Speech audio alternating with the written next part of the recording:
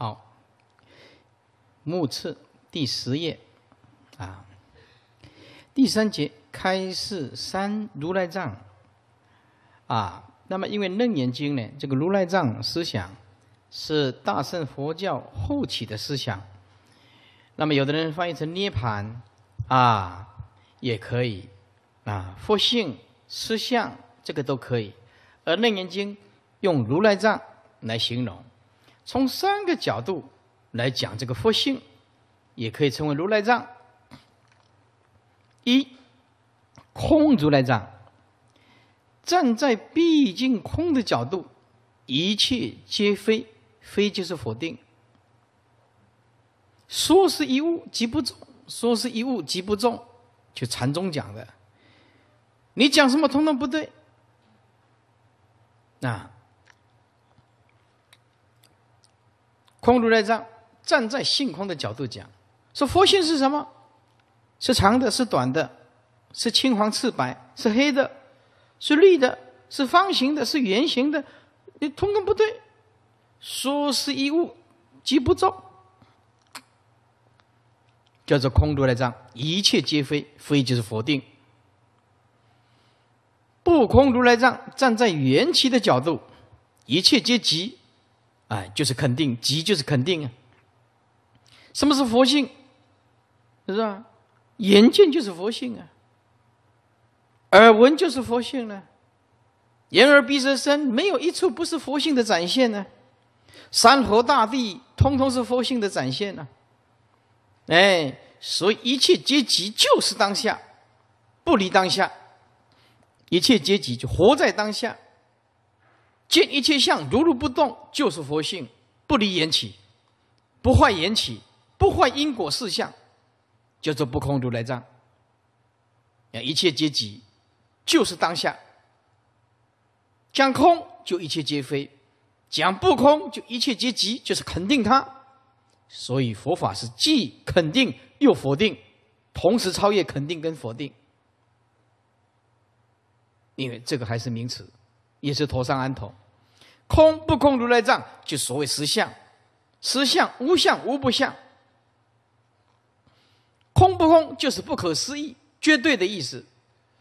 讲也不对，不讲也不对，讲空也是偏空，讲不空还是偏有，所以就来一个空不空如来藏，看看你能不能进入不可思议的如来藏性。所以底下皆非皆即，离非离即，是不是？皆非就是凡所有相即是希望，通通非，色身香味触法，色眼耳鼻舌身意。都是如梦幻泡影的空无自性，叫做皆非，也通通是站在缘起的角度，不离当下，不离缘起。啊，皆非皆即，同时要离非离即，按一个非，按一个否定，也让清净自信如来藏性不增不减啊，加一个肯定如来藏性也是不增不减，不增不减哪里可以给你否定或者是肯定呢？怎么可以让你头上安头呢？所以离非离己，连这个否定跟肯定，通通要放下。本来无一物，怎么肯定它呢？你怎么否定它呢？就这空不空如来藏。第四节诸妄之因呢？啊一又起疑惑：宝觉妙明何因起妄呢？啊，为什么会起妄呢？二有因就无非妄啊。妄即无因呢？说无因故妄啊！你找到了原因，就不是妄。那因为妄为什么会妄呢？妄心呢？就是因为这无因。诸位，这个无因跟外道的无因大不相同。外道的无因是穷追猛找，可是找不着。所以，立一个无因，没有什么原因，突然出现，没有任何原因，啊，佛教讲的无因是追及到无始无明那一念，哦，原来它是妄动啊，如果你找到了因，那就不叫做妄了。找到因就是如找到如来藏性了，这个就是双钩论法了，啊！妄一找到真就显现了，勾住了，啊啊！真被妄勾住了，啊！妄发现了真就显了，啊啊！那么真没有显示，因为妄勾住了，所以我们要了解，找不到原因，故妄。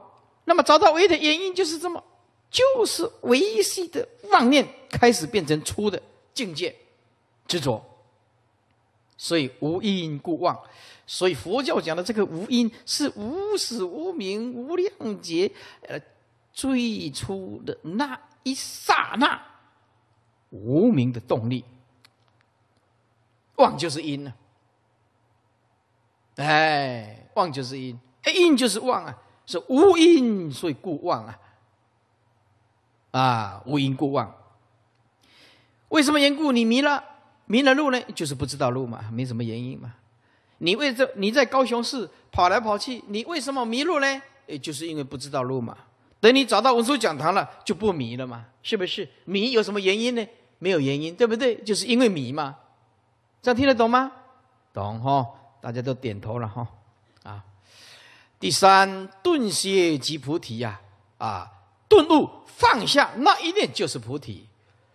所以这这里有一句话很重要的呢：哪一个人最接近佛呢？看谁对放下的功夫下死功夫，肯放下，还不必下课，你就接近佛。百千万劫放不下，通通见不到佛。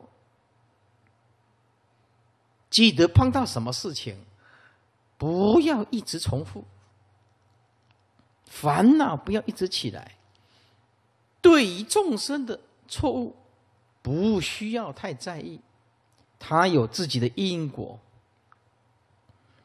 我们今天所要做的功夫，就是降服自我，顿歇即菩提，歇即是菩提，放下，而且要彻底放下。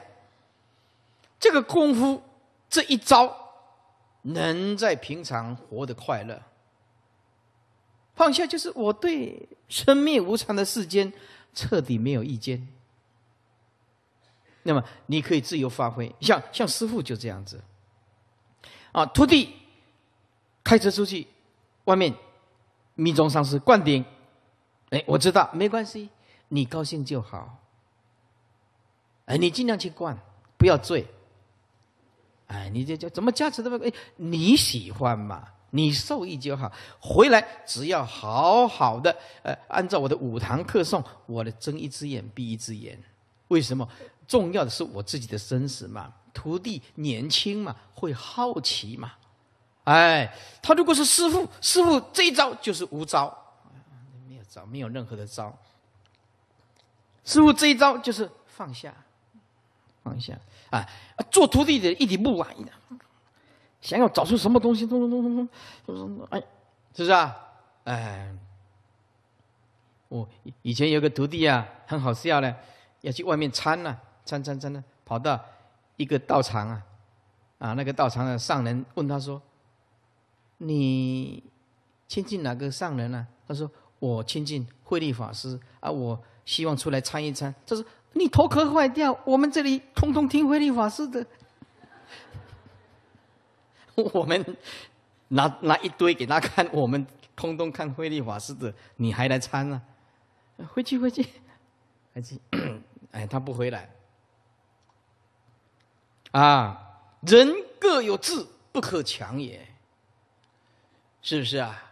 哎，每一个人都有他的意向、志向，有缘嘛，我们。师徒之间相处愉快，没有缘嘛，就勉强不得，勉强会造成遗憾，知道吗？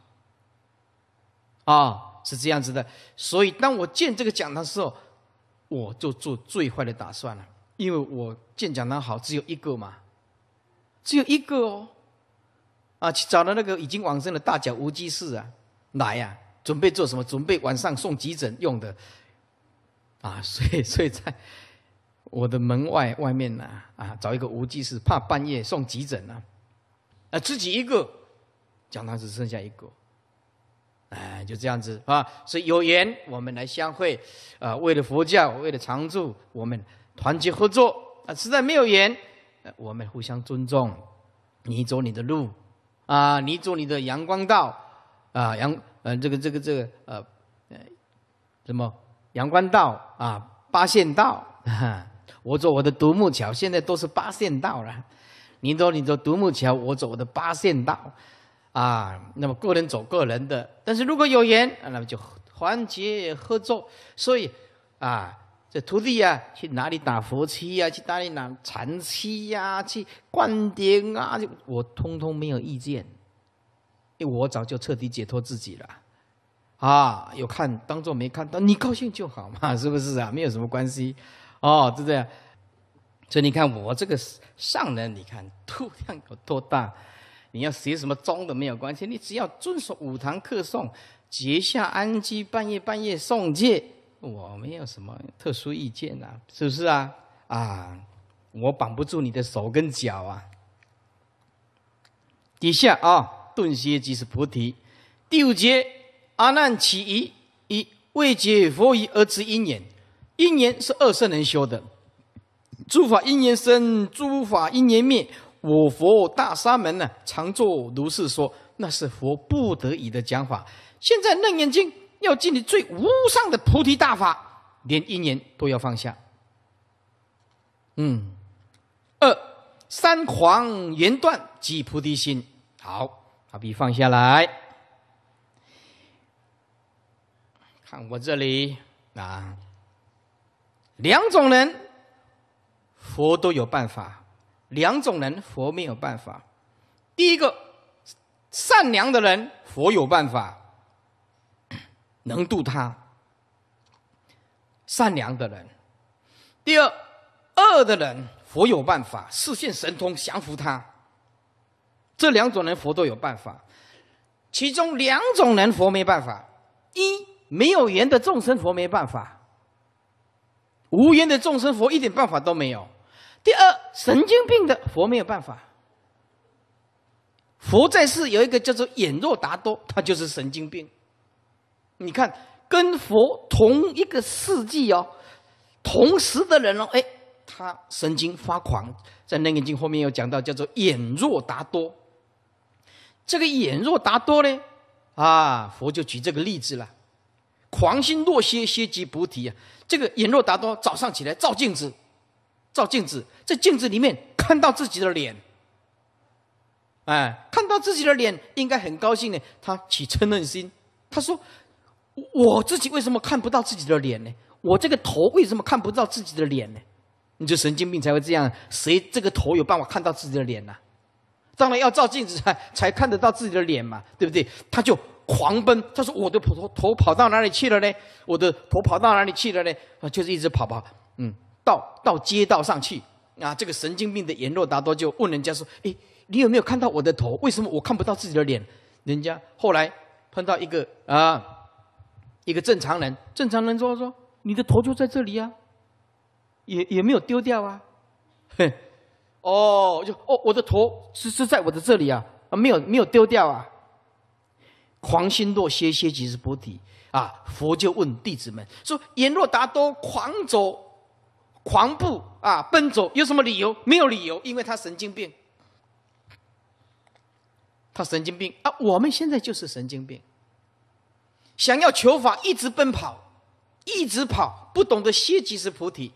想要求奔走，参访善知识，奔走，求道，狂奔，哎，懂得一点少许的佛法，可是还是找不到清净自心啊。所以这个发狂的因有什么因？因为他神经病啊，啊！结果妄妄走虚妄的心，精神病支持他一直狂奔。佛陀说：狂奔有什么理由？没有理由，因为他妄认妄为真呢，是不是啊？那后来找到头，你不能说他有失去头啊，他头本来就没有失啊。我们今天找到了清净自信，也是这样子啊。我们的清净自信从来就没有失去呀，是因为你狂奔嘛，驱流奔逸呀。你这个财色名食睡啊，贪嗔痴慢疑，从来就没有停止过啊。嫉妒排挤，从来就没有停止过啊。你什么时候歇即是菩提？没有。当你歇下来的时候，找到了如来藏性，你你能说我，呃，我多了一个如来藏性吗？如来藏性从来不失啊，是因为你狂奔了，你往外一直奔走啊，啊，一直忙碌啊，一直贪着外境啊，执着外境啊，是不是？所以，当你发现你的如来藏性，其实它本来就存在啊，只是没有经过明眼人的指点。明眼人因为没有经过明眼人的指点，所以你会晓得哦，你的如来藏性就是在这里，歇即是菩提嘛啊，发现啊。大悟了，所以禅宗里面一念大悟，恍然大悟，哇！原来我就是佛，从来就没有失，从来就没有增，从来就没有减，从来就没有来，也没有去，是不是啊？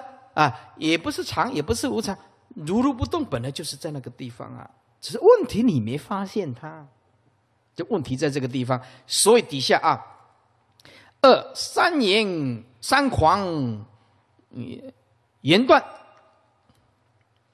好，把笔拿起来啊！三狂就是一狂走，二执因缘找因缘法，三外道自然。因缘是二圣人修的，狂走就是例如阎罗达多神经病的，佛对神经病的一点办法都没有啊。第一叫做狂走，发狂而走，就是阎罗达多一直跑，向人问我的头在哪里？你有没有看到我的头？为什么我看不到自己的脸？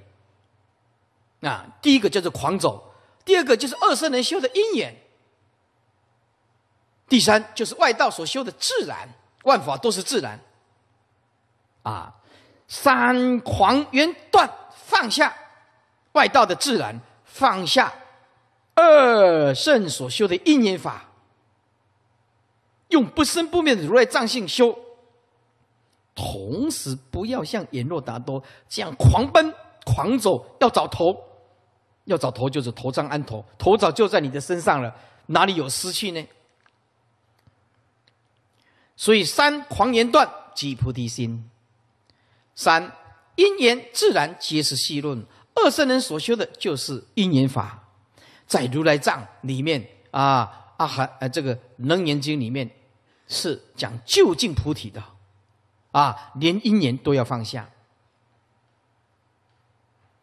自然这是外道，那么二圣的因缘、外道的自然都是细论。啊，诸位，诸法因缘生在这里，诸法因缘灭也要放下了。好，如果你。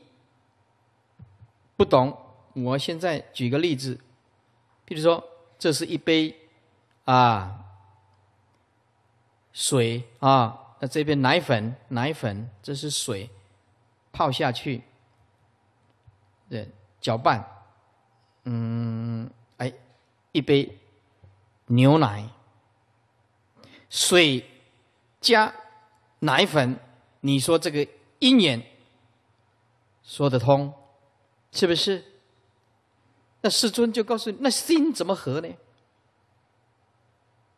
心，我们的心怎么合呢？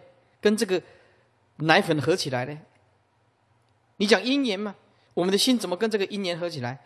水加牛奶，你说合合？有东西可以合啊？那心呢？怎么合？你心难道跟牛奶泡在一起吗？没有。心当然没有跟奶粉泡在一起啊，心是独立的呀，所以心性本来就不和合。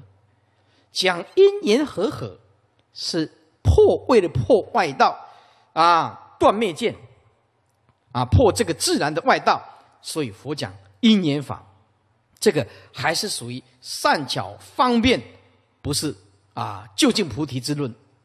究竟菩提没有和合。非因非缘非果，究竟毕竟空。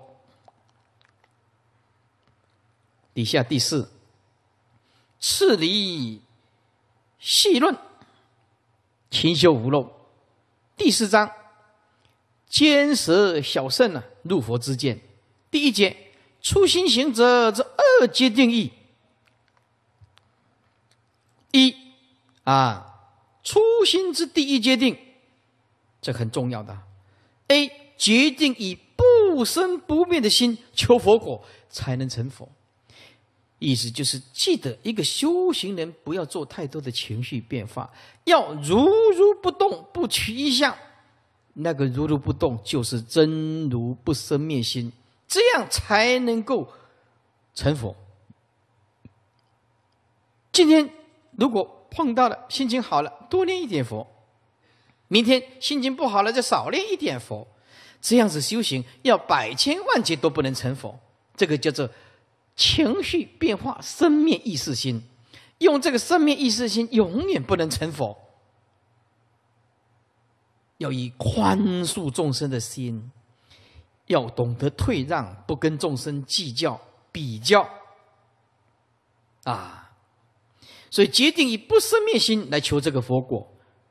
第你绝了五浊声音，复还无生灭性，五浊。就是劫浊、见浊、众生浊、烦恼浊、命浊，啊，福还无生灭性，你一定要降服他，让他心性如如不动。诸位，这个很困难，啊，古德讲，要让一个人没有妄念，就如同在牛角上，牛角上端呢，要放一颗芝麻或者是绿豆豆啊，这么困难。众生呢，要降服自我，让他自己没有妄念，这个功夫有多困难呢？就像一只牛角，你牛角尖尖的，上面要放一颗绿豆，咚放了掉下来，放咚掉下来，咚掉下来。众生他就是这样子，他知道要修行，可是你要叫他降服自我，不期望，困难到极点。他二六始终都在起起这个妄心，着这个妄境啊，这个有多困难？诸位。随便用一个财色名食睡哪一关你能够看得开？睡眠少一点行吗？不行。那你夫妻结婚欲望少一点行吗？也不行。那财呢？没有钱怎么过日子呢？不贪行不行？诸位啊，所以修行你看很简单，很难，非常难。是哎呀，看到这个人很不舒服。从以前看到这个，就是很不喜欢看到的人，我能不能如如不动，也是这样子喜欢的。没有不受影响的看他呢，难，对不对？一看呢，哎呀，就刺眼。台湾语叫做气差啊，一看呢就很不舒服，就是莫名其妙，就是不舒服。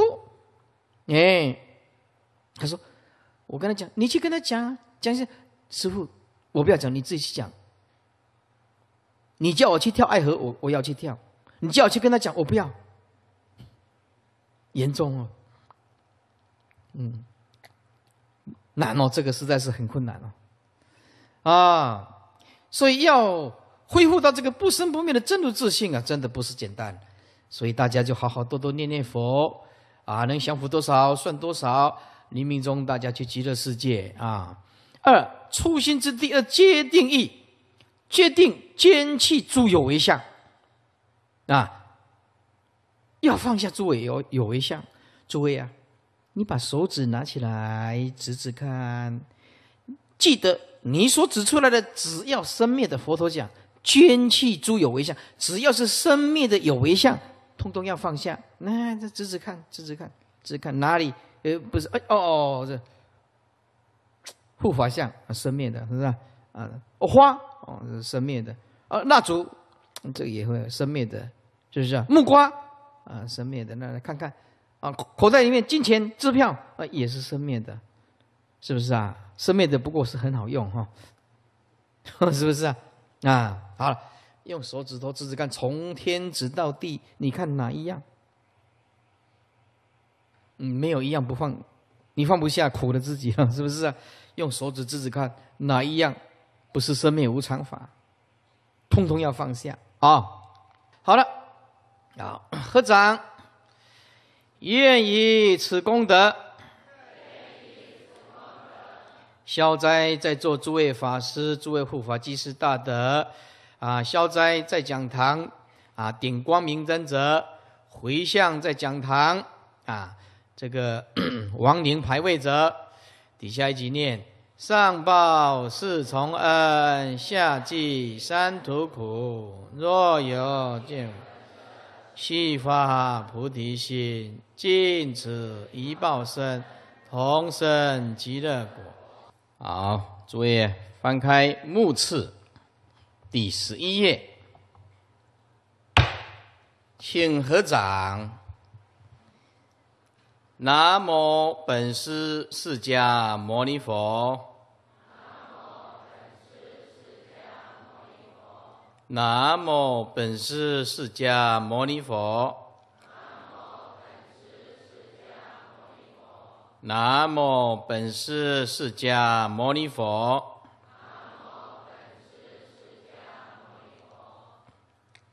翻开目次第十一页。目次就是目录和次第，也就是大纲的意思，《楞严经》的大纲。倒数第四行第二节，我们既然要坚持小圣入佛的知见，第二节要地观六根以六尘，哪一根来修行，力量最大？那么第一个就是审度六根的功德优劣。为什么我们娑婆世界要用耳根来修行最利？啊，那么佛后面就有讲，翻开九百五十页，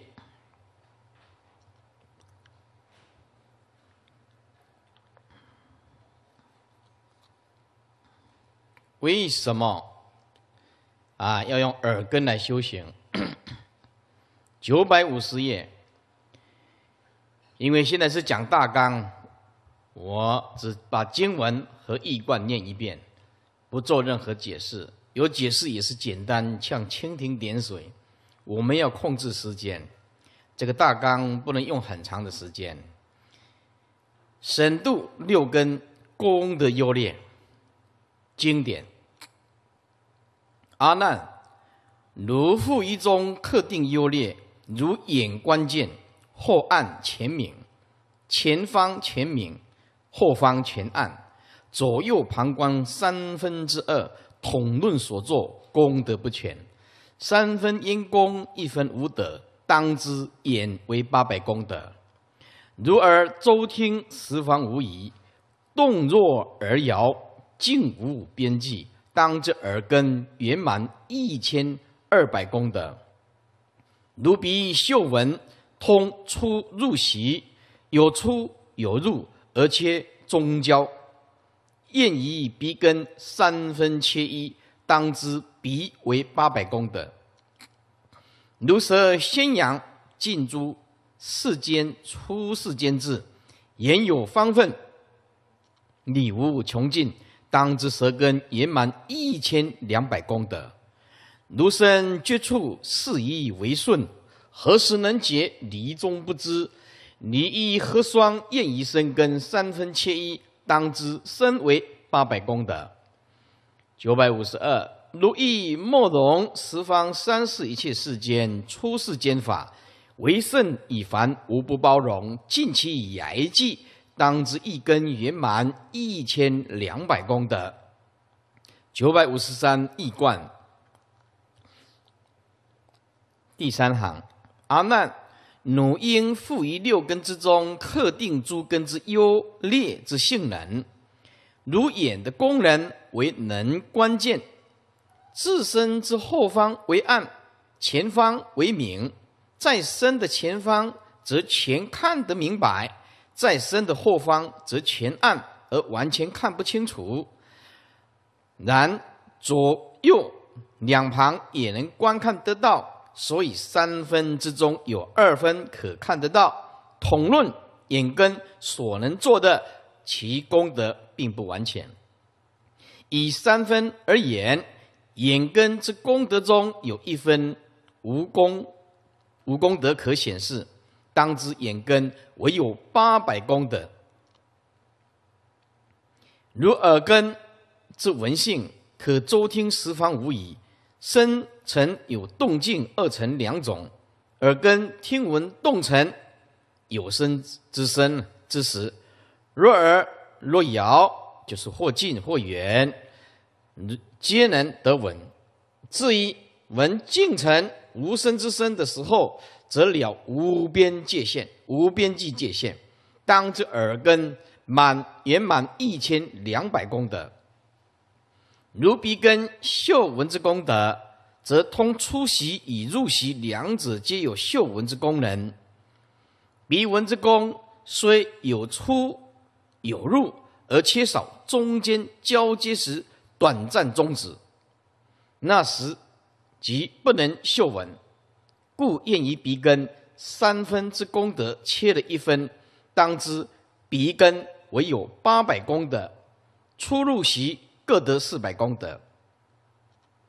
如舌根能以言语宣扬道理，能就近诸世间以及出世间之智慧。言语虽有地方之分分别，然理则无穷尽，无有地狱及之居右。当知舌根能圆满一千两百功德。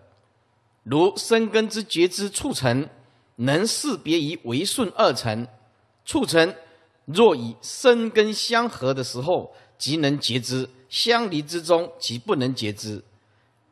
根尘相离时算一分功德，根尘相合时算双份的功德，故加起来共有三份功德。每份功德各有四百，每份各有四百功德。如是验于生根，则三分之中切了一份，以根尘相离时不能结之，所以少一分功德。当知生根唯有八百功德，根尘相合时，双份乘以四百。如一根于默然无言无言中，可容包一切法，十方三世中一切世间及出世间法，为圣人以凡夫境界之法，无不能包容，且能穷尽其业际。当之一根能圆满。一千两百功德，翻回来目录。念的这一段，最重要的是告诉你，耳根、还有舌根、还有意根是殊胜的。换句话说，在娑婆世界，要以耳根最为精明。所以，为什么劝大家？要多听经闻法，就是道理，这就是这个道理。换句话说，在娑婆世界，眼睛瞎掉的人虽然是不幸，但是比耳朵聋的人更幸运。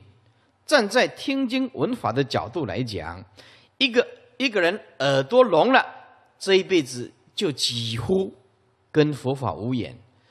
佛经虽然可以用眼睛看，但是没有经过大善之事。的指引是悟不出来的，是绝对没有办法的，啊！所以佛法无人说虽会不能了，就是你用世用尽一切世间的聪明都没有办法，都解不开的，因为那个那个不是意识啊的东西，那个是超越一切相。所以啊，我们很幸运的，眼睛也能明亮看经典，耳朵。也能听经闻法，恭喜诸位。所以啊，哎，有时候呃，我们对父母亲很不满的时候，有时候会发脾气啊，对不对啊？哎，有时候有一个法师五十五岁，他的妈妈有时候会稍微嗯，个性很奇怪啊，常常生气。哎，有时候。我去照照镜子，嗯，那也不错，跟我们长的这副脸哈，啊，也不错，是不是啊？眼睛有正常，耳根也正常，那还算不错了，还是感恩父母亲呢。哎，就是要这样关照一下，关照一下啊。所以说，呃，诸位啊，呃，能够坐在这个地方听经闻法，这可是修修百千万亿劫的啊。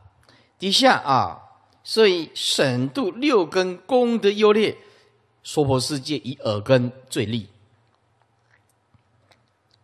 第二，入一解六，入一就是你只要用一根去参，参透了正入如如不动的涅盘妙性，那么六根的烦恼全部都解脱。因为眼、而、鼻、舌、身、意虽然有六，但是同一个心啊，眼睛看什么事情，这些起爱恨烦恼还是那颗心；耳朵听闻音声。起烦恼还是这颗心，所以所有的执着分别其实都是同一颗心。虽然有眼耳鼻舌身意的分，其实都来自一颗那一颗同样的心。所以入于一根，只要你参得透，比如说啊，眼睛见一色色，了解色即是空，也能体悟不见一物名为见道，不行一行名为佛行。不住一法，名为正法。啊，马上就单刀直入的禅宗，那么一念之间就可以证悟。只要你悟，只要你慧根够，啊，所以禅宗祖师有一句话说：“一等是邪，直须无邪。”一等是邪。你真正要体悟佛的最上圣吗？一等是邪，直须无邪，当下就证悟无生，无邪就是不需要学，就毕业了。你真的要了解佛的涅盘妙心、如如不动的妙心吗？一等是邪，直息无邪，没有任何好讨论的。所有的语言。后天的学习，这些都是意识形态，都是经验。你要恢复你本来的面目吗？单刀直入，彻底放下。这一句也是方便说，本来一如，不需要放。如果我们也能够这样子入于一根了悟，色即是空，受想行识也是空，地水火风空见识。都是周遍法界，都是平等，我们就能如如不动，不取一相。第三，一与六皆由一妄，为什么妄呢？在这里有一个很重要的观念：一加一等于多少？二，这叫做意识形态。意识形态，这个就是由众生的意识形态观念产生，一加一等于二。二加二等于四，这个大家都知道。现在要进入佛法的领域了，佛法的领域就不是这样子了，不是一加一等于二。佛法的领域是开始进入一从哪里来？这个要进入佛法的领域了，一从哪里来？一从哪里来？嗯，好，一。从观念来，一从意识心来，一从全世界认同来，一从文化来，一从啊大家公认来，一从全世界都存在了，一从无变成有，啊本来没有一呀，哎是大家假设一从假设来，一二三四五六七八九十。一从假设来，因为我们习惯于意识形态，所以一本身就是妄，彻底的妄。所以佛法讲的“一”跟世间人讲的“一”大不相同。佛法讲的“一”不是观念，是绝对的清净自信，叫做“一”。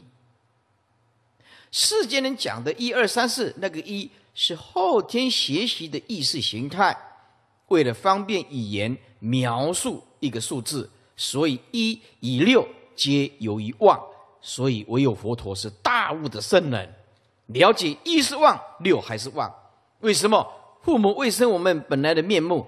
六根眼耳鼻舌身意根本就不存在，现在存在也是幻，只要你了幻即离，离幻即解，亦无见次。你知道生命宇宙是一种幻觉，记得放下就成正等正觉。我们就是多一层烦恼，多一层执着，多一层分别。本如来藏妙真如性，我们头上就是安头。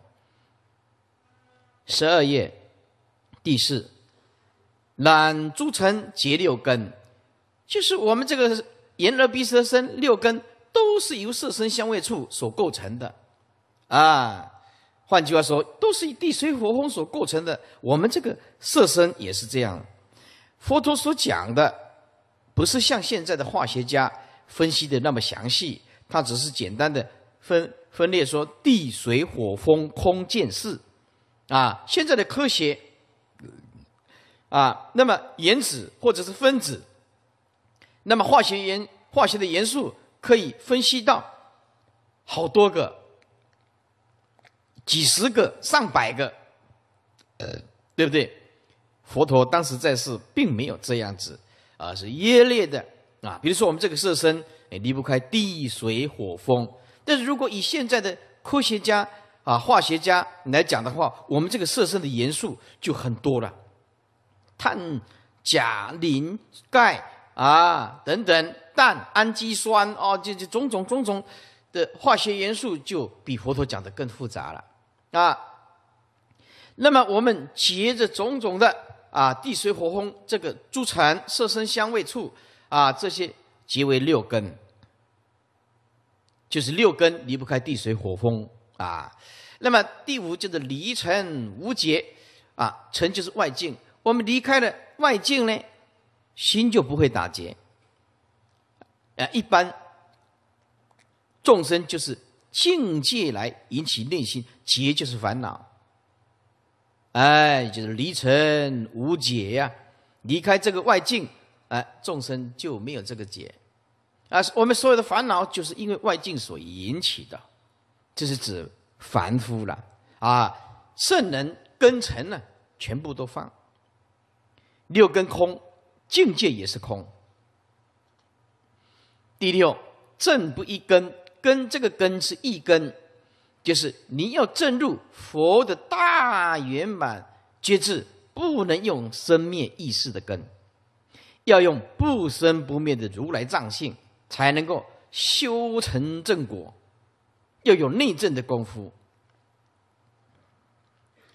这个根是指一根，就是第七意识，就是生灭意识心的意思。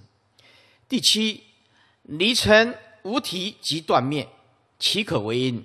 离尘无体就是没有永恒呢，没有实体呀，啊，离开了这个外面的尘。就无体就断灭了，啊，意思就是外面的呃境界引起我们内在里面的烦恼，其实都是刹那生灭，刹那生灭，它不是新的体性啊，新的体性是永恒存在的，岂可为因？怎么可以当拿来当做修行的本因呢？修行的本因下手处应该从内观观真如自性，从不生不灭啊。如如不动的心性下手，为何啊，在这个呃外境或者是意识心打转呢？这个意识心离尘无体呀。比如说看到一朵花产生喜爱，一直贪；看到一个名牌一直喜爱，在佛的角度来讲，正悟来讲这角度讲，这个贪心是多余的，头上安头。我们清净自信本来是没有贪啊，我们看了这个境界引引发出这个贪念出来啊。变成我们清净自信的累赘。譬如说，你恨一个人，这个人恨的这个念头一直卡在这个心性里面，而佛陀告诉你说，不像在你所恨的对象，它不存在。你用的就是尘引起来的烦恼，其实这个烦恼无体，它刹那生灭，刹那生灭，刹那生灭。虽然有记忆，可是它不是我们如来藏性。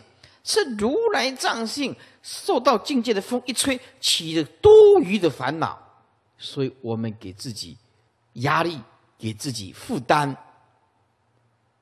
佛同情众生。第八，集中厌闻性不断，通通把笔放下来。这个时候要通通看这里。这个今天呢，如果你悟了，一下子就进入佛的领域。听经闻法在于明心见性，用见性的心来念佛，所有的心，所有的佛都是真如自性佛。啊，要往生极乐世界啊，易如反掌，你没有不再烦恼，所有的念都是这句阿弥陀佛，这句阿弥陀佛就是所有的心性，就是一心不乱了啊。好了，眼睛通通看这里。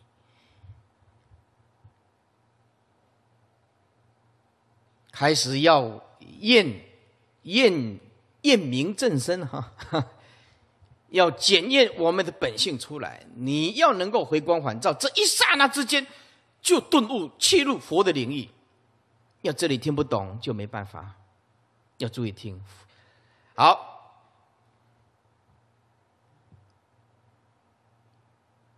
佛跟所有的弟子通通集合。叫阿难，阿难，你去撞钟，阿难就去撞这个钟，咚，这个钟响了，佛就问：声佛有没有声音？的比丘就回答：有声，有听到声音。哎，这声音慢慢慢慢消失以后，佛陀就问：声佛有没有声音？那徒弟都说。没有声音，啊！佛陀在叫阿难去撞第二次，阿难又跑去那个钟的旁边一撞，嘣！佛陀再问有没有声音？他说有声音，大家都回答有声音，啊！等到这个声音消失了，哎，渐渐渐渐声音慢慢小了，佛陀问声佛有没有声音？那所有的人回答都说没有声音。哎好，我都在叫阿难再去撞第三次，阿难又跑到钟旁边去撞第三次，咚！佛陀就问：闻否？有没有闻到这个声音？闻否？他说：闻，有闻到声音。啊，等到声音消失了，佛陀问：闻否？所有的弟子都答不闻，这问题就出在这个地，没有听到。好，佛陀再叫阿难再去撞一次，阿难就跑到钟的旁边再撞一次，咚，没有声音啊。佛陀就问闻否？撞钟的时候闻，所有的人都听到啊，闻。等到声音消失了，佛陀再问。闻否？听闻的闻，那大家都说不闻，嗯，这个就完了。佛陀说：好，不闻，那就闻性就跟声音跑掉了。我再撞下去，你怎么能够再听到呢？闻就闻性都没有了，是不是？闻性都跟这个声音跑掉了，再撞你怎么听得到？就是闻性没有跟着尘跑掉，你知道吧？好，好，用那个撞钟的。听不懂，看这里，这里啊一个关键，我撞啊，声否有声，这个就是尘呐，啊，啊，声音消失了，声否哎没有声，对不对？啊，再撞一遍。声佛。有没有声音？有，有声音。声音消失的时候，声否哎没有，没有声音。哎，再来啊，闻否，你你的闻性有没有起作用？闻呢？有听到声音呢？声音消失了，没有声音。佛陀问：闻否？哎，所有人都答错，都不闻，这个还是闻呢？为什么？闻到什么？闻到极境嘛。一片寂静声嘛。意思就是我们这个根，不管你声音有没有，它通通在闻，你知道吗？如果说这个闻性跟着声音跑掉，不闻那不闻，下一次再撞，你怎么听得到呢？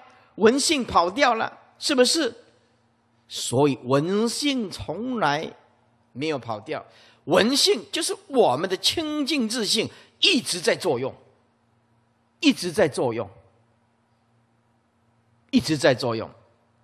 啊，换句话说，我们如果不随着外在的声音起心动念，如如不动，那个就是我们永恒的心体。而这个心体，每一个人都具足。我们却被外面的境界，比如说耳朵听好听的，哎，欢喜；耳朵听难听的，愤怒。好听是外层，难听也是外层。我们就是完全被声音拉出去，星光被它束缚，新的智慧完全光明被这个尘捆死了。所以我们不得自在，所以再回来，这个钟一撞，生否是问尘呢？尘？啊，外面的尘，这个尘慢慢慢慢的消失，呃，是不是啊？哎，是尘了。一个是有声，一个是无声，这个是尘了。而闻性不一样，啊，有声也是闻，没有声还是闻呢。闻性并没有跑掉啊，我们的如来藏性从来没有消失啊，但莫随这个外面的尘起心动念，心不要跟着外境跑掉了，而如如不动，不起相，了知一切如梦幻泡影，尘自生灭，自性不动，那你就找到本来的面目了。所以闻佛继续闻，好，诸位，如果这样。还不能体悟，眼睛看，眼睛看，睁开眼睛，见否？见，把眼睛闭起来，见否？啊？见了，当然见了，见到前面一片漆黑吗？是不是？眼睛张开来，见否？当然见一切相啊。眼睛闭起来，见否？当然见了。见到眼睛黑黑，前面一片黑啊。见性一直不动啊，见性一直在作用啊，无关于根跟尘呐。眼睛看得到也好看不到也好，清净自信都在作用啊，是不是？这样听得懂吗？嗯，你到底是真啊？怎么两眼无神呢？啊？所以一般人都认为说，眼睛睁开来叫做见，看得到；眼睛闭起来叫做不见，是错的，知道吗？所以无关于外面的境界，无关于外面的境界。眼睛睁开来见佛见，为什么清净自信在作用嘛？啊，眼睛如果瞎掉了，见不见还是见呢？眼睛瞎掉了，是眼根坏掉，心性没有坏啊。你去问一个瞎子，通通看不到的瞎子，那些按摩的瞎子，你问他，你你见到什么，他就会就跟你讲，我见到前面一片漆黑，那还是在见呢，是不是？只是没有像而已啊，是眼根坏掉，不影响到我们的心性的，是不是？眼睛睁开是见，闭上还是见呢？见到一片漆黑嘛，通通见，意思就是说，见性无关于尘，无关于根。你体会得出来吗？不要一直乱点头，就是两眼无神，是不是？如果你也能够体会到说，哦，我们的心性无关于六根，也无关于六尘，六根、六尘、六事，完全都是心在作用，我们就证悟到万法唯心限量，所有的法都是你自己在起心动念。境界本不存在，唯心无境。若人一了知三世一切佛，应观法界性。底下那句怎么背啊？一切唯心造。答对了，这个就是这个道理。境无好坏，也没有善恶、对错是非，仁者自身分别，就是因为你自己无名，卡在某一种无知的观念里面，一直用自己的观念在写否。由于我们啊无名所建立的三度空间和时间空间，因此我们在这里面一直认为某一种东西存在，而事实上，望诸法毕竟空寂。若见诸相非相，即见如来。如来则即诸法如意，心如如不动，就是如来。离一切相，即名诸佛。凡所有相，皆是希望，根尘世俱不可得。一十八界都是如来藏性。我们就知道啊，睁眼也见大悟，闭上眼睛还是悟。大悟的人从来就不迷。啊，有一个人啊，跑到文殊讲堂来，这个年轻人呢，有学点佛。我刚好下楼梯来，这个年轻人说，讲话有点傲慢，啊。那个脸呢，看起来啊，就有一点不顺、不畅。哎，我刚好要下来吃饭，啊，电梯门一开，他说：“你是慧理法师。”我说：“嗯。”既说你是大悟，我说我从来不迷，哪来的悟啊？哎，他就认为有一种东西叫做悟。我跟他讲，我从来不迷，哪来的悟嘞？悟是不是你讲的呢，迷是对悟讲的呢，是不是？如来藏性哪来的悟跟迷呢？绝对的东西没有迷跟悟的东西，是不是？你安上一个悟，你还是迷呀？不容许你安安插任何的之见，所以心境是不二的啊，善恶是不二的。有为无为是不二的，生灭不生不灭是不二的，所以我们应当了解佛的用心啊！入于佛陀的大寂灭涅盘海，说对境即然，常不离佛。什么是佛？你对一切境界能够进入平等的心性，就是这么一回事。情不要头上安头，不安一个善，不施恶。不按一个对，不按一个错，来去增减，所以禅宗真的是很厉害。令心无所增减，是名修行哦，一百分，一百分那这禅宗每一句话都是一百分。令心无所增减，是名修行，才是真正的修行人。意思就是，我身上放十块钱，跟我身身上拥有十亿，他的心情是一样的。十块钱是空，一十亿还是空。十块是无常，十亿还是会无常。十块钱我临命中带不走，你身上拥有十亿还是带不走。世间为我所用，非我所有。世间什么通通是短时、短暂，让你用一下，没有一样东西是你的。言其无自性，一切法无我。所以佛陀在《圆寂经》里面告诉我们，怎么样能够最快成就阿耨多罗三藐三菩提。佛陀在《圆寂经》里面那句话，你要背起来：横观四大无我，速即成就阿耨多罗三藐三菩提。哪一个人能够成最快成就佛呢？就是横观二十四个小时都知道一切法无我。那一切法无我，你为什么要贪呢？为什么要嗔呢？哎，当时候啊，我在建讲堂，那建讲堂各个地方汇款过来，因为款不够，要去贷款。哎，有个居士说：“师傅，现在股票哦上万的啦，去投注股票，一下子客家人讲一下子都变了，都变啊！”接都变，哎，一下啊！客家人哈，叫我去投注股票，哎，那你想想看呢？每个人的心情不一样哈。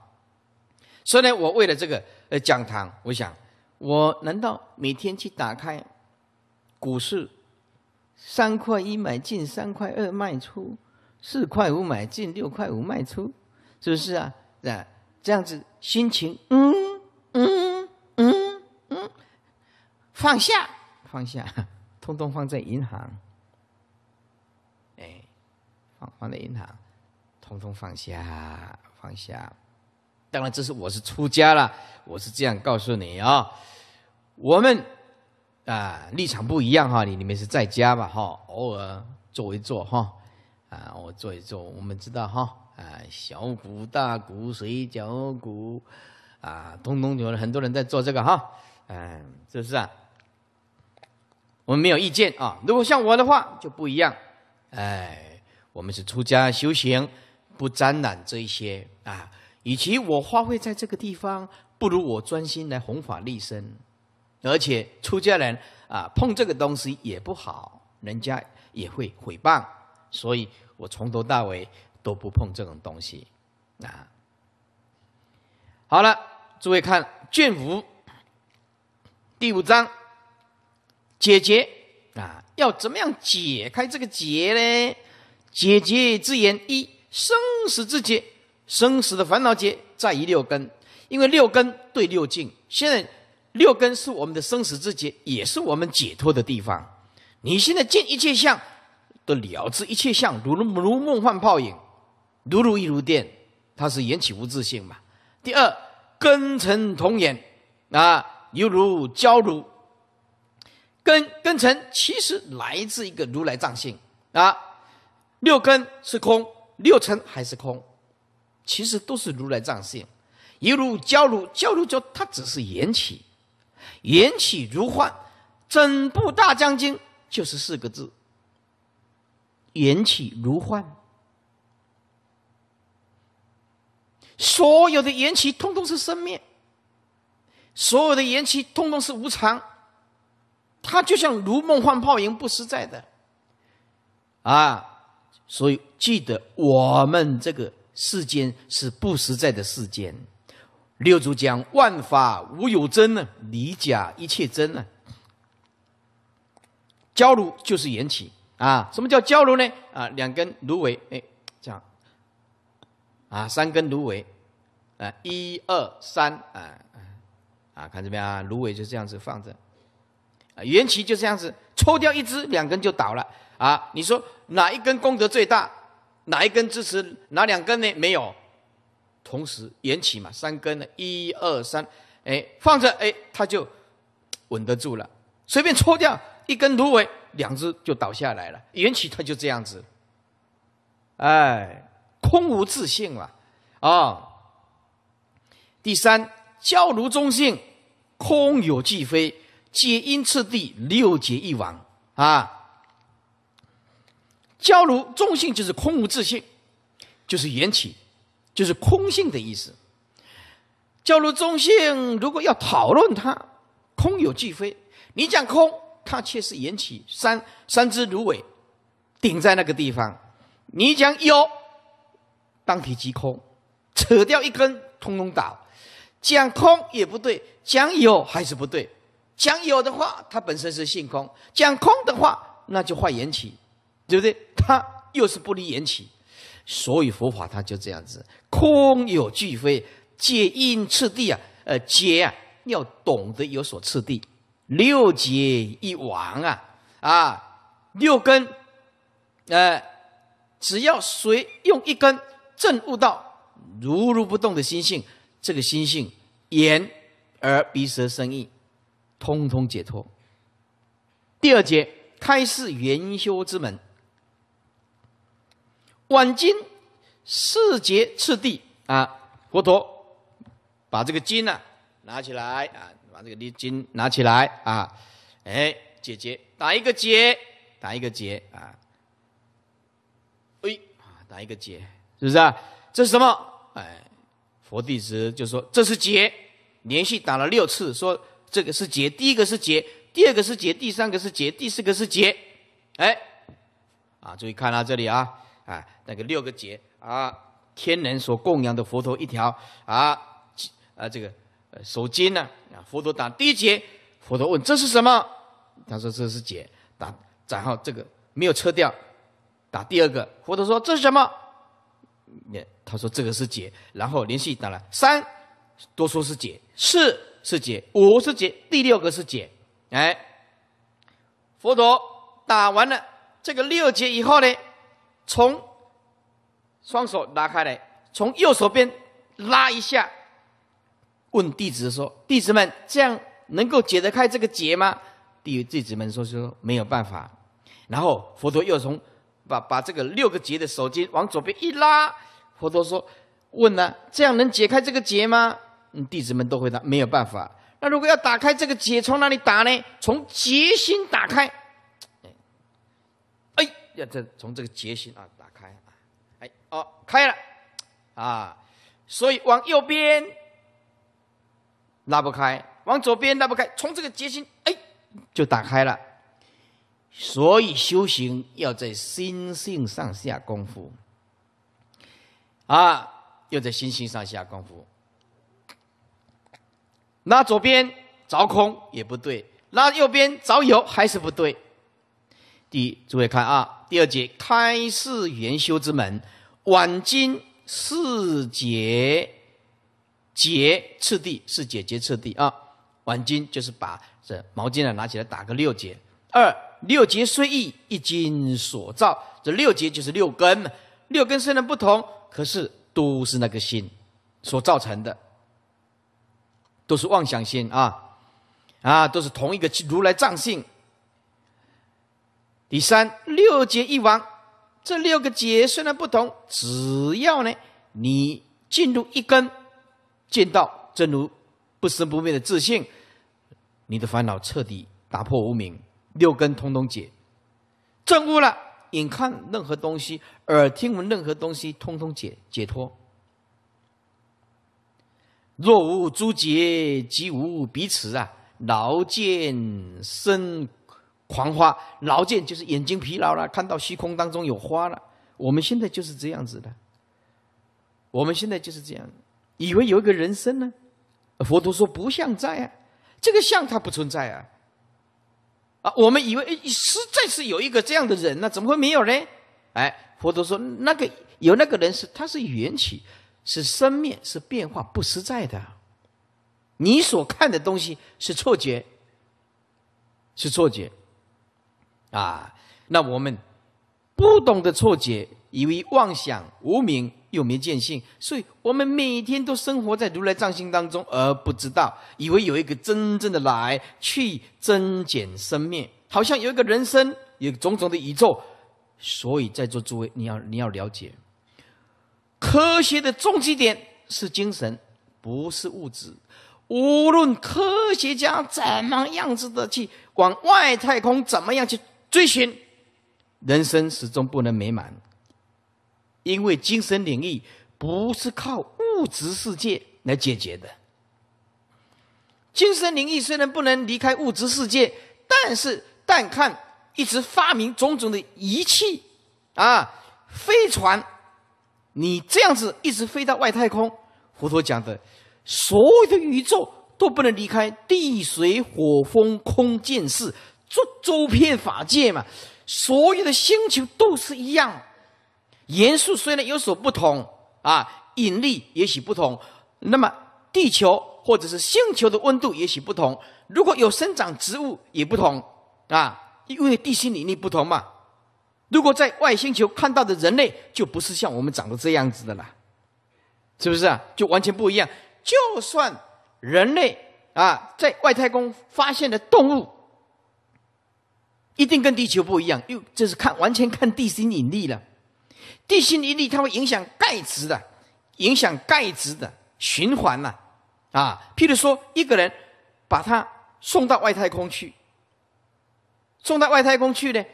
他这两条腿，一个月、两个月、三个月、半年，他下来以后，他要复健了，因为他在没有地心无重力状态，他的钙质没有办法循环，所以他这个两个腿会报废。因此啊，他在这个外太空里面，他一定要跑步，一定要跑步，一定要运动。在太空舱里面，他一定要运动，不这样运动，他这个。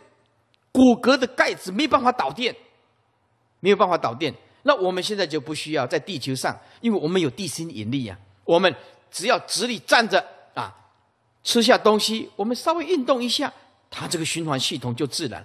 在无重力状态的外太空，如果不跑步不运动，这个人他就会萎萎缩，就会萎缩。那如果一个人没有重力设备，那么这一这个人在外太空一年、两年、三年，他就会像鱼鱼一样，水中游的鱼呀，它这个两条腿啊就渐渐失去功能，因为它是浮在虚空的，不需要两条腿去走。两条腿长久不走的时候，这两条腿。就是多余的，在外太空，比如说，观想一下，我们今天进来讲堂，它是因为有地心引力，所以你你站在地上走进来。如果今天讲堂是在外太空，诸位，你两条腿通通会报废，因为它是浮起来，扶起来就变成用两只手，你知道吗？滑的，用滑的，那腿因为不能作用，久了久了，它就是一直萎缩，一直萎缩，一直萎缩，因为没有重力，没有引力。它就一直萎缩，为什么？因为钙质没有办法疏导，没有办法补给这个钙质，没有办法补补给这个钙质，这个骨头就一直萎缩，一直萎缩，后来就变成一只鱼，人两条腿就完全消失，完全消失哦。好，佛陀告诉我们，无论我们去外太空怎么样的去寻找，始终不能离开缘起缘灭的道理。还是生灭无常，还是缘起缘灭，所以进法界就是一大缘起。这个《华严经》讲的，就是无尽的缘起。每一个星球道理都不能离开佛陀所讲的缘起缘灭、生灭无常，都没有办法离开，因为这是共业所感的一个宇宙。所以科学的终极点是精神，不是物质。所有科学家的发明都是为了啊舒缓我们精神压力，但是因为他们没有学佛，往外一直推，哎，一直推棉被发明的最好的啦，房子越盖越好啦，冷气越盖越好啦，啊，越越做越好了，啊，车子越做越好，这些科学的发明都是满足人类精神上的需求，但是因为没有大悟。不能觉悟到空无自信，所以欲求不满，就一直发明，一直发明，一直发明，一直发明，就往外，往外，往外，往外。等到科学家的发明到终极点的时候，会发现，哎，起点就是终点，起点就是终点了。所以有美国一个科学家，哎，一个美国科学家，华裔的科学家。非常有名的科学家，他说了一句几一句话，他研读了这个科学几十年，后来看了佛所讲的《楞严经》，他就说了一句话，就是我如果早看了佛陀的《楞严经》，就不需要研究这个科学。啊，但是因为也研究了这个科学二三十年，也更印证佛陀的伟大。呃，两千五百年前，佛陀已经全部讲完了，已经全部讲完了。所以我们应当了解，提升心灵的精神的享受远重于物质，远重于物质。我们所有的这些发明，是为了我们方便，就是所有。所以我们真正的修行人应当怎么样啊？应当知足，哎，有个呃健康的身体，有了。房子、车子，啊，就足儿女也孝顺，这样可以了。好好的学佛，提升心灵，因为所有的物质都是生灭，就是把你送到外太空啊，用火箭最快的送了十亿年到外太空去，答案还是一样，那边也是生灭，也是无常，也是缘起，不尽苦空缘起无常无我，答案都佛早就讲过了，所以与其。你要花费时间在外太空，用天文望远镜这样一直看啊，了解一下外太空是不错，但是终归要回归内观，还是要关照这个心性啊。你用天文望远镜往外一直看，不能解脱。了解一些科学知识不错，当做学问研究不错啊，给人类啊一种啊，那么提升科学的知识领域。大家都很感恩。但是能不能解决生死烦恼问题？不行，要内观，要内观，要回光返照，往内观。逆观就是佛法，是念处，是正勤，是如意足，五根五力七菩提八圣道分，哪一个三十七道品不是心法？而佛最了不起，两千五百年前的大圣者就知道，物质的终极点是精神，科学的终极点是精神，不是物质。因此，我们要了解佛陀的用心啊！解结须从结心。第五，结心在根呐，根结若除，成相自灭啊！看到什么事情，就你就打结；见到什么事情不满的事情，马上心就打结；耳朵听到什么不顺的，他就心就打结，对不对？六根所引起的结。烦恼，如果你能看得很清楚，知道是虚妄的，不要被他骗去，不要被他骗去啊！以前我刚出家的时候，我在台中南普陀佛学院，那时候因为那个院长作风不太一样啊，始终。弄冷饭、冷菜给我们吃，啊，我每天都腹泻。啊，广化律师也没办法。哎呀，这个时候啊，大家都有点烦恼，哎，有点烦恼。所以呢，有一次呢，我们就去参广清老和尚。哎，那时候已经现出家相了。那么。我就把这个事情啊，碰到老和尚，请老和尚开示啊，啊，啊，这老和尚啊，啊，我们呢南普陀佛学院的学生呢，很多人腹泻呀，啊，这呃九点就煮好了，十一点呢，啊，呃武功啊，练了两一两个钟头，二十几个殿呐，大殿小殿呐，通通要去拜啊，啊，全部都冷的啊，我们这个院院长为什么要这样子嘞？啊，王金老和尚就回答一句话说。你去有骗去啊！你已经被骗了。你当时候刚出家不久，实在是听不懂为什么被骗呢？我在描述一件事实啊，为什么你不正面回答说你被骗了？哦，现在知道了哦，原来那个是假象啊！哦，动念就被骗了哦，我现在知道老和尚的意思了。啊，原来法性本来就空啊，哪有这件事情呢？所以我被骗了啊！现在很服，哎，很服，啊！我后来，这是后来才体悟的了啊！我我就讲啊啊，要讲这个冷饭的事情啊啊，又讲这第二遍，第二遍啊，老和尚听了听了听，哎，他很有修养啊，我就重复再讲一遍，我我怕老和尚听不懂。听不清楚，再讲一遍，重复再描述一遍啊！这样这样这样子用冷饭吃，院长怎么样怎么样啊？老和尚说：“爱讲咱无福不食烧饭，未使讲人用冷饭给咱吃。”哦，你是哦，意思就是要怨恨是怨恨，说自己没有福报吃到热饭，不能说人家用冷饭给我们吃。哎呦！这句话恍然大悟，哦，原来万法唯心。我们一直抱怨人家用冷饭给我们吃，为什么我们不会回光返照，说我们没有福报吃热饭呢？哎，现在呀，想想这个广清老和尚啊，还真的了不起，是真的是圣人。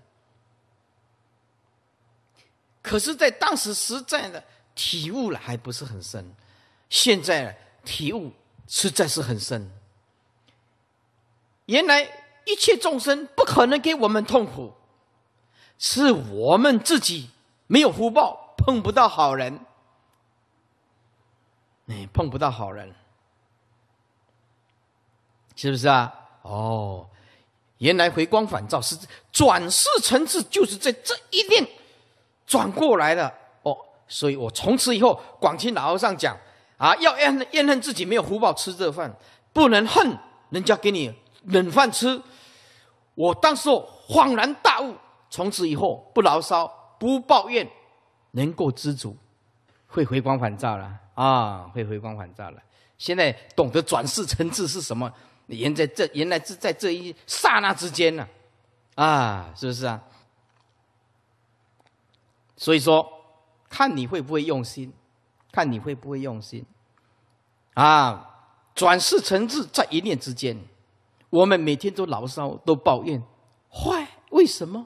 嘿，就是不会转呢，哎，不会转呢。当两个夫妻吵得很凶的时候，常常。先生对太太讲：“我已经忍耐你很久了，你呼爸不？那我已经忍耐你很久了。哎，广西老上这个要讲，要转，讲的啊要转转转转。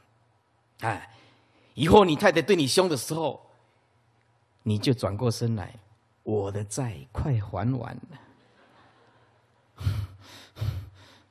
还要传好几声。我再让你糟蹋也没几年呢，你的牙齿啊都装的，已经老了五六十了，哎哎，这样稍微转一下，哦，要不然哦会死掉了啊！跟父母亲过意不去的时候，父母亲让你很烦恼的时候，你就转世成智 啊！意思就是碰到逆境的时候，自己要能够转，知道吧？一定要懂得自己转。哎，那么你就所向无敌了，烦恼就不生了，是不是？啊，当你碰到一个啊，一直给你儒啊，姓儒的啦，啊，你碰到碰到一个很会儒的老婆，半夜都不让你睡觉的，哎，你要记得，感谢他，是我们的善知识，让我早晨佛道，半夜起来精进念佛，不能睡觉啊。一睡觉，乒乒乓乓，乒乒乓乓，心情未轻松。这啊，这就没办法起来，赶快念佛。阿弥陀，阿弥陀，感谢他半夜都不不睡觉，让我起来念佛。阿弥陀，阿弥陀，对啊？平常七八点、九点就去睡觉了，弄到凌晨两三点，不感谢他，感谢谁呢？哎，是不是啊？哦，稍微念头转一下。啊，第六，解决一次地。解后得人空，就是没有我执，以及无生人，无生就是一切法无生，无生就无灭吗？好，第六章二十五圣圆通境界，圣人示范。第一节问圆通的根本，圆通的根本必须正得三昧三摩地，用如来藏性。第二节二十五圆通 A。六层圆通，从六层色身香味触法六尘，而正圆通三摩地的底下翻过来十四页，深成圆通乔成那等五比丘，这个意思是说，从深层它是闻法嘛，闻四地法嘛，从深成。啊，正入正言，正入圆通得三摩地，以敲称那五比丘做代表。从色尘而正圆通入三摩地，是优婆尼沙陀尊者，优婆尼沙陀尊者。从香尘正入圆通得三摩地，香言童子做代表。这一个一个就实证的例子，注意。通通证得三昧，圆通就是三昧，就是三摩地。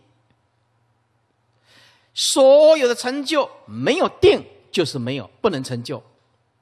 你只持戒有会，没有定不行，不行。注意那圆通两个字，通通要证得圆通，才叫做大成就者，就是一定要有三昧的功夫。所以绝对不是说念佛念两声叫做修行，拜佛拜几下通通叫做修行，可不是这么一回事儿。要有三昧的定力，才是真正的成就。啊，从相成正入圆通得三摩地，叫做香严童子；从未成正入圆通得三摩地，是药王药上菩萨；促成圆通跋陀波罗啊，跋陀波罗菩萨；法成圆通摩诃迦摄尊者。以上是六层，接着是五根：眼、鼻、舌、身、意。五根圆通，意思是从眼根而正悟圆通入三摩地的阿那律陀尊者；鼻根圆通周利盘陀切尊者；从舌根正入圆通入三摩地交梵波提尊者；身根圆通毗陵切婆娑尊者；一根圆通须菩提尊者。六世从六世正入圆通的眼是圆通舍利佛尊者，耳是圆通普贤菩萨，鼻是圆通孙陀罗南陀尊者，鼻舌是圆通富罗那尊者，身是圆通优波利尊者。啊，优波利尊者是持力第一了，阿那利是天眼第一了哈。第十七意识圆通，叫大目犍连尊者；七大圆通，火大圆通，乌出色魔冥王；地大圆通，持地菩萨；水大圆通，夜光童子；啊，风大圆通，琉璃光法王子；空大圆通，虚空藏菩萨；四大圆通。弥勒菩萨，所以弥勒菩萨是修唯心四定。根大圆通是大势至啊，菩萨就是大势至菩萨念佛圆通章啊。卷六第七章，二书耳根圆通是观世音菩萨。这观世音菩萨跟我们娑婆世界特别的有缘，而且啊，我们娑婆世界以听经闻法证悟最快。速度最快，啊，所以看经绝对不如听经，但是听经要碰到大善知识。所谓善知识，是叫你念佛、持戒、吃素，叫做善知识。明因是果，啊，这个叫做善知识。叫你指导如来本本地风光，叫你明心见性，直进娑婆若海。这个是大善之事，啊，即心就是佛，即心成佛，啊，这是大善之事。耳根圆通，第一节发菩提心，从闻思修入三摩地。闻思修是三会，戒定慧是三邪，不能搞错。三邪叫做戒定慧，从这个会开出三个，叫做闻会、思会、修会。三邪是戒邪。定邪、慧邪，而慧邪开出三个，就是文慧、思慧、修慧，就是文思修。从文思修，就是你听经文法能开智慧，你思维正法能开智慧啊，你有修修行也能开智慧。入三摩地，三学是界定慧，三慧是文思修，不一样，是从慧开出来三个。第二节。正修耳根圆通三昧，正修耳根圆通，观世音菩萨就是反闻闻自性啊，成就。那么第三节是三十二应身，是等于普门品一样了啊。求三圣得三圣了，声闻缘觉菩萨；求诸天应，求人去应啊；求离八部，八部就是鬼神哦；求得人道应。求离非人应啊！求离非人应，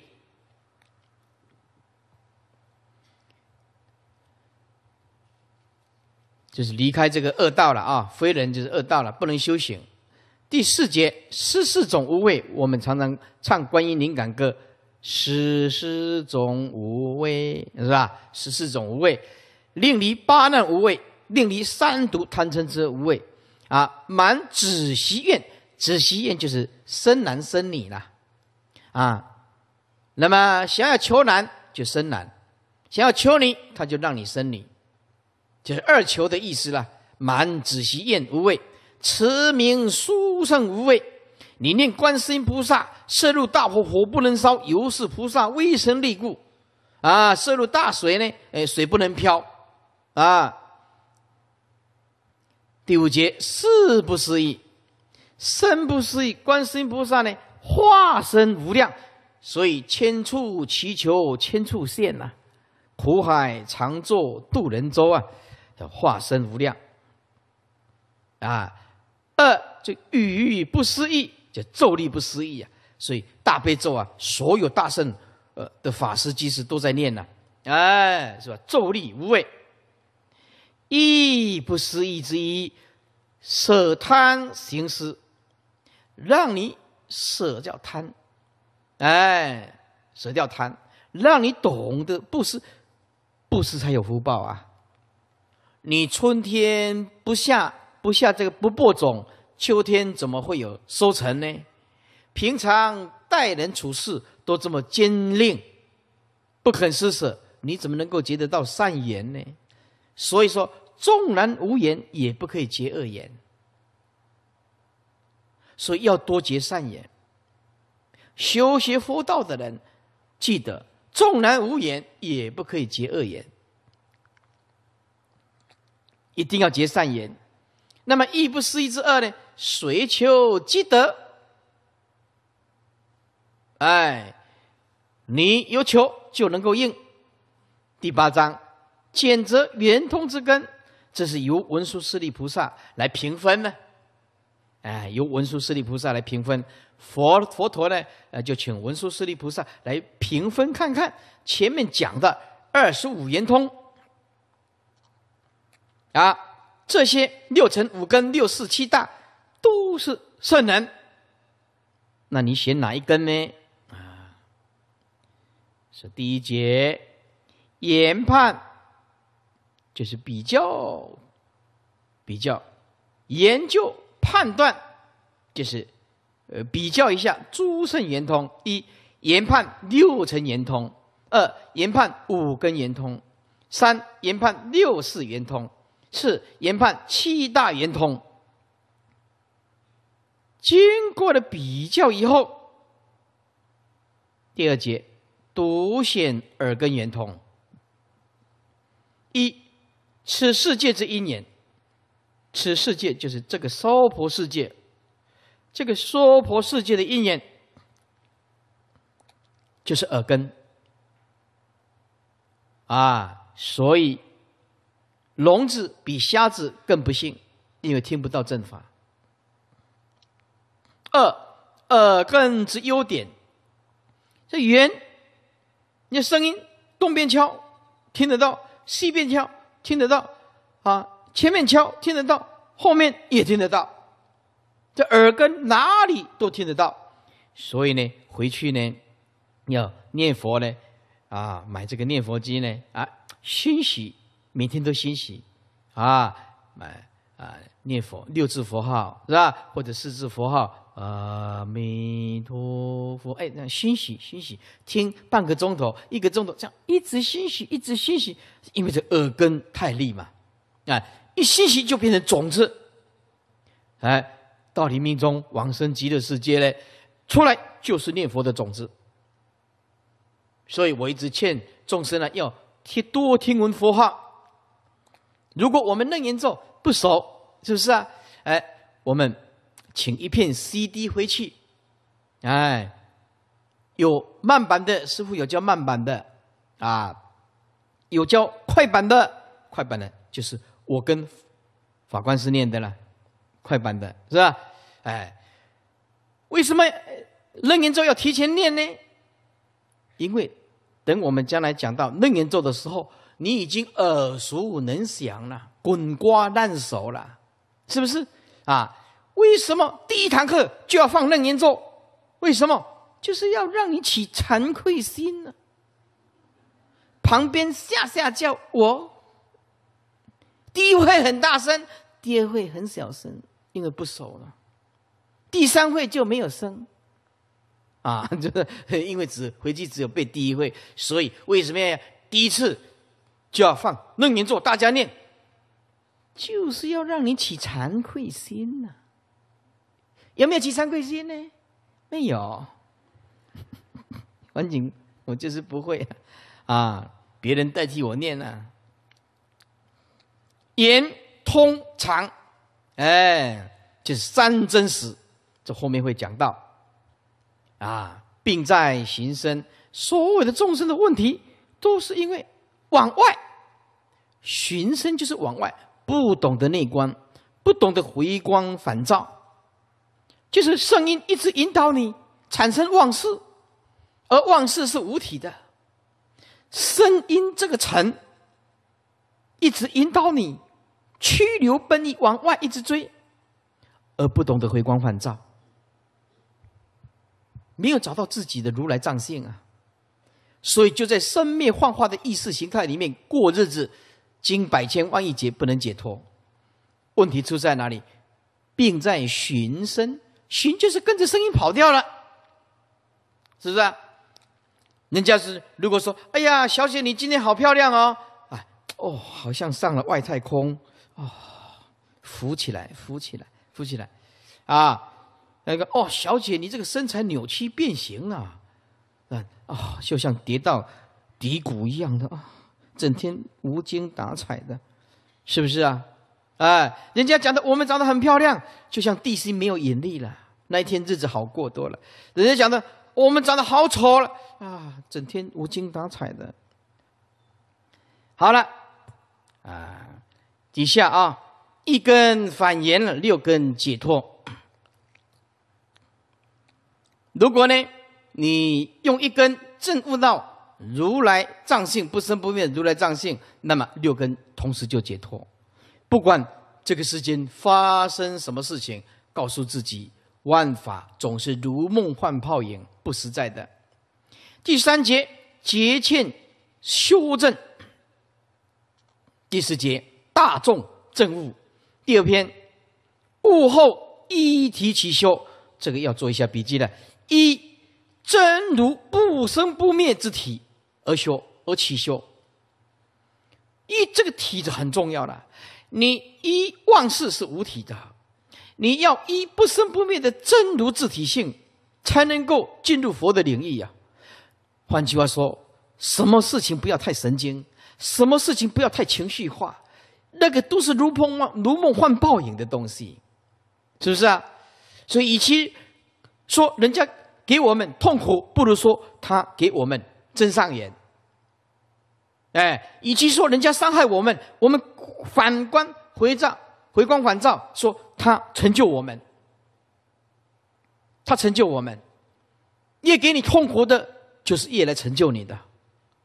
你要如实的观察，不要一直一味的啊生气，不要一味的一直发脾气，不要一味的。啊，无知那种嗯，历劫以来的呃，男人的个性或者女孩子的如如不动那个如字啊，那就不好，是吧？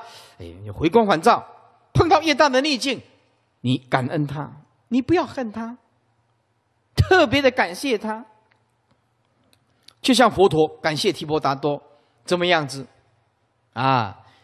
所以你要成佛吗？就是一定要经过很大的逆境。所以伤害你的、诽谤你的，都是你的善知识，都是你的恩人。为什么他成就你了？是不是啊？啊，他造了无量无边的恶业来成就我们，我们为什么不感恩他呢？转念之间，是不是？啊，那么悟后要以不生不灭之体离体来起修。第一章前方便四种清净明慧，你要修习佛的楞严大定。一要断淫心，清净明慧。为什么用心呢？在楞严经特别重视这一颗心。为什么？你只有行，没有淫，你是心没有断，不行。所以要淫，从淫心下手。那么这个地方，比丘，那么就没话讲了。在家居士呢，这个要很冷静啊，啊，不要听了楞严经以后，哦，是不是？你家庭闹合并，这个我们必须要很清楚的交代清楚了。有家庭一定要很冷静的，修行是必须要有时间和次第的，而且要跟对方沟通的。你有家庭，就必须有婚姻的生活跟义务啊。所以这个嗯男女的事，一定要求得对方谅解，不能贸然行之。如果你一直坚持，那么你还没有成佛，已经家庭已经破裂了啊！这个在《成观法师》里面啊，这个义观也写得很清楚。他再三的劝导在家居士要特别注意这种事情啊，不能一味的我要修楞严大定啊，我不赢，身不赢，心里不赢，那但是你有家庭呢，是不是？啊，这个就很注意了啊！啊，所以邪佛不是要闹家庭革命，是要渐进式的让对方来接受我们。如果实在不能接受我们，那么就应付应付，啊，应付应付，是不是？呃，唯一能讲的就是这样子的。夫妻之事，我们也不方便说啊。第二节断杀心，在《楞严经》讲的更严格，包括你身上所穿的，不能用动物的皮。毛巾、围巾、袜子，在《楞严经》是讲的非常严格的，都不准跟动物结缘。第三节，断道心清净明慧，呃，不是我们的东西，一针一草一树一粒米，通通不能动。啊，动了道的心。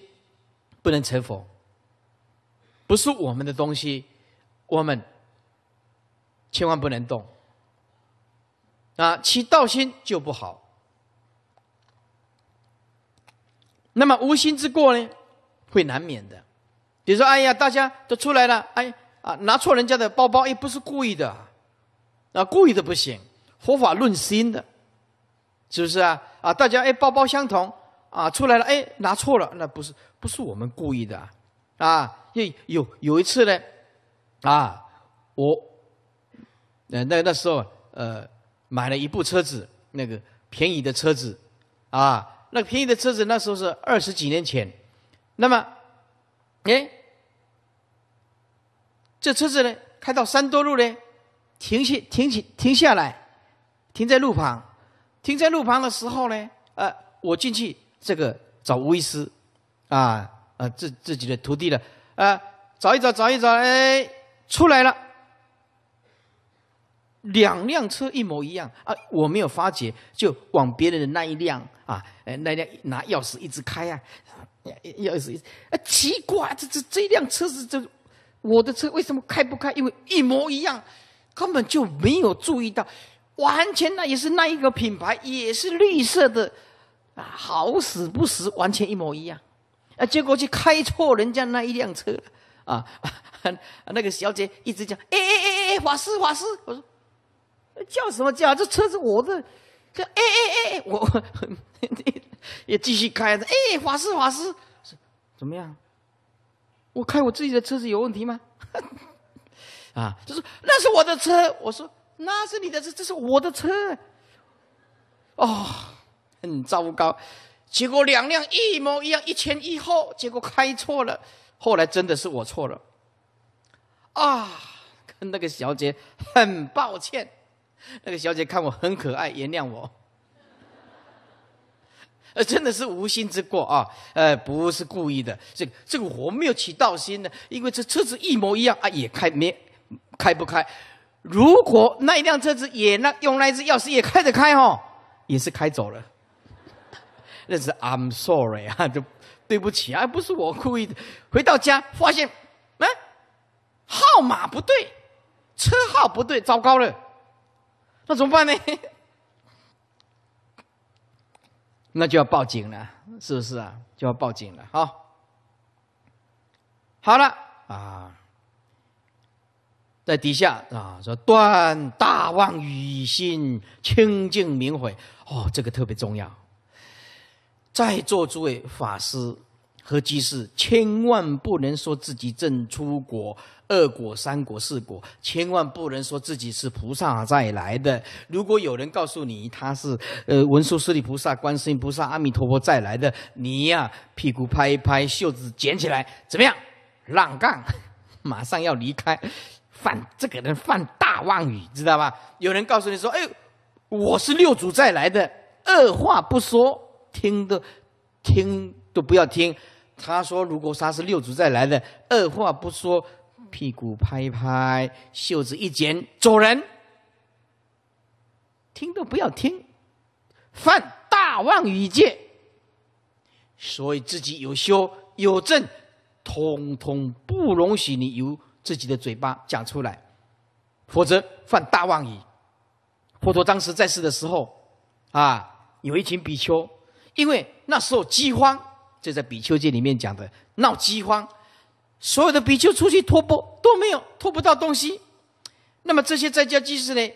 呃，东西又少，又闹饥荒啊，托钵困难。哎，这些比丘啊，就故意哎，你出去告诉那些居士说，某某大法师证阿罗汉果，证阿罗汉果。哦，这些在家居士啊，就把他们的供养都拿来这些比丘，这些这个没有正果的阿罗汉。哈没有正果的妄语的阿罗汉，哎，为了得到供养，就编，哎，告诉甲，告诉乙，乙告诉甲，哦，大家都在传啊，这一群呃几个啊大妄语的比丘，互相赞叹，甲出去赞叹乙，说他真阿罗汉；一出去赞叹丙，说他得阿罗汉。是这一群比丘呢啊，别人闹饥荒，比丘化缘不到，这些比丘啊一时冲出，这个事情啊。慢慢慢慢的传传传到世尊的耳朵了。世尊的制造，你这个是犯大妄语戒啊！啊，世间人妄称自己是国王，就要被杀头嘞；世间人妄称自己是啊啊国王，就要被杀头砍头呢。何况人说自己证阿罗汉果，何况自己说我是佛，是法王。是不是？吃是可耻的行为。你一个比丘没证阿罗汉果，为了啊接受信徒的供养而说贪求信徒的供养而说你证阿罗汉果，佛陀说吃了这个又犯大妄语，又犯道，嚯不得了！所有的比丘啊，后来噤若寒蝉，没有一个人敢说自己是正果的，没有人敢讲的。为什么？哎，不能说啊，谢佛的密因呢，除非经过佛陀的印证呐。因此，我们要了解这个大妄语是很可怕的，而且末法时期啊，呃，到处都是妖魔外道，到处都说自己是什么菩萨再来的，是什么六祖、七祖啊，什么来自喜马拉雅山的，嗯，是不是啊？啊，什么活佛啊，自己是什么再来人呐？哎呀，就是，哎呀，无惭无愧啊！这个就是犯佛的大妄一戒，因此我们不要受骗，不要上当啊！真的有修行的大菩萨，证阿罗汉国也不会自吹自擂，是吧？他就是很谦虚。所以菩萨在你面前，你也不知道他是菩萨，他怎么会讲呢？为什么？他怕犯佛的大妄语戒啊，是不是？或妖言惑众嘛。所以这个末法时期特别的多，哎呀，特别的多，是不是啊？动不动就会看你的相啊，说你的前世是什么？你在某一世跟我是夫妻啊，或者看你的相，你的未来会怎么样子？是不是？哎，一个好好的比丘看起来像算命的，也不像算命。为什么要？为什么不以佛的正法来修行呢？为什么要讲那种啊似是而非？为什么要犯大妄语戒来求得饮食呢？贪求人家的供养呢？这个就是没有正念，没有正知，没有正见了。所以我们应当要好好的冷静这一条戒律，杀盗淫妄要断除。有家庭的要衡量，冷静看怎么处理。如果你想修行，又有家庭，必须要取得对方的谅解。好。